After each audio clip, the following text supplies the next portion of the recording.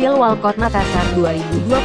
Teka-teki siapa yang akan maju di Pilwalkot Makassar 2020 makin ramai. Saksikan video ini sampai habis dan jangan lupa di subscribe dan tekan tanda lonceng sebelah kanan bawah video ini. Oke dilanjut. Ewako TF. TF, TF, TF. Yes. Bismillahirrahmanirrahim.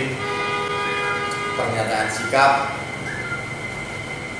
Saya Ketua Umum Relawan Sejatina Sulawesi Selatan sudah berkoordinasi ke seluruh teman-teman Sejatina yang ada di Kota Makassar ini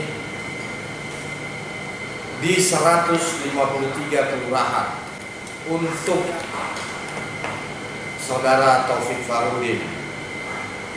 Kami seluruh relawan tinggal dari saudara Taufik Farudin. Adapun beberapa komunitas sudah sama kami antara lain satu jaringan anak Sulawesi Selatan atau JAS. Yang kedua, Ikatan Pekerja Pariwisata Makassar. Yang ketiga, Pala Umi. Yang keempat, seluruh teman-teman yang ada di Cikar, Makassar. Yang kelima, lain-lain yang belum disebut namanya satu persatu, yang sampai saat ini masih tahap koordinasi.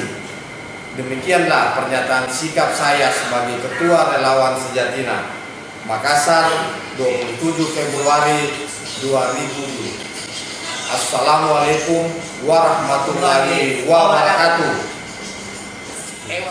Demikianlah pernyataan sikap ini kami buat Makassar Februari 2020. Ewa KTF. Sip.